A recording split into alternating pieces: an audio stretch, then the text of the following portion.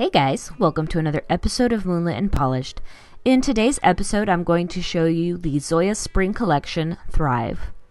Zoya is one of those brands that I don't tend to buy often. I have two polishes that I bought in the past and I almost never use them because I can't stand their brush. Also, in this collection, if you look, these colors are all sort of very similar. Like these two look similar, and then these three are almost in the same family group. They only have the one standout, which is Darby. Darby is a gray blue shade with an iridescent shift.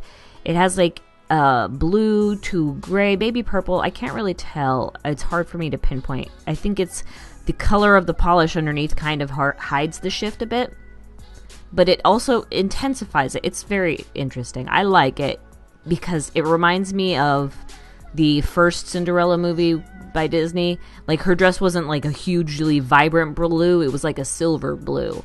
And let me tell you, I wore that tape out as a kid. Like the band came out, it was all terrible.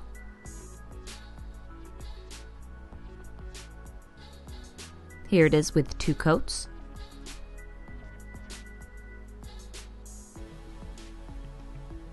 Next we have Trudith, which I think is the perfect purple for spring. It's not too light, it's not too dark, and it has that soft yet pastelly feel while still being clearly purple. There are a lot of colors out there in the spring that come out and they're like, yes, this is pink, and yes, this is purple, but it's also almost white. So, how can you even tell? So, this one I think is a great find if you want a nice, obviously purple color for spring that isn't too bright.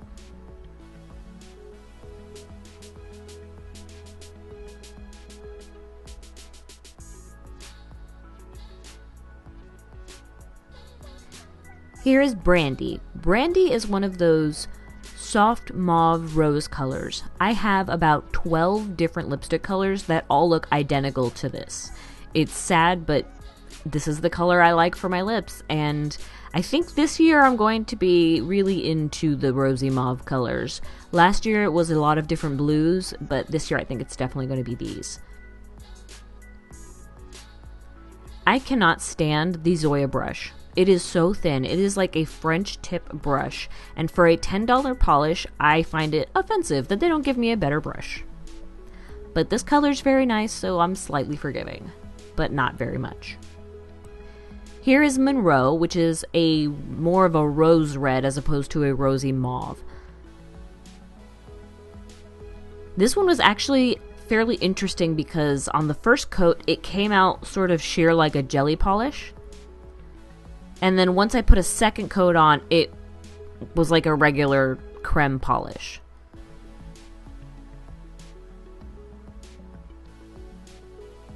I didn't really find anything to stand out about this. Um, I do love their leveling agents. They're very nice. They're very smooth. But it's eh for me. Eh. Next is Leisel, which I think is the oldest daughter from The Sound of Music. It, it actually kind of looks like the color of the dress she wears when she sings with that blonde Nazi boy. It's a soft, purpley pink jelly base with iridescent glitters. And be careful getting it all over your skin because it's that type of polish that when you go to remove it, you're going to have glitters that refuse to leave you and you'll be annoyed and you'll rub your skin raw. Also, this color definitely needs three coats to be fully opaque. Here I have it with three coats, and I was kind of disappointed by that because I liked the color and was hoping I wouldn't have to do as many coats. Here is Haruko, which is the light side of the lilac shades that you usually get for spring, except here it has iridescent shifts in it that goes from purple to pink or I'm sorry, purple to blue.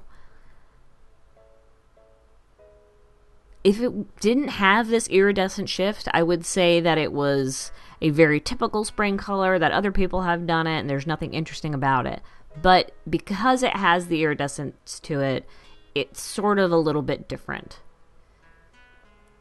I don't think I care for polishes with this light color and iridescent because it still looks like a shimmer. The iridescent has to be really sort of stand out or popish or really intensify the color for me, and I don't think it did it here.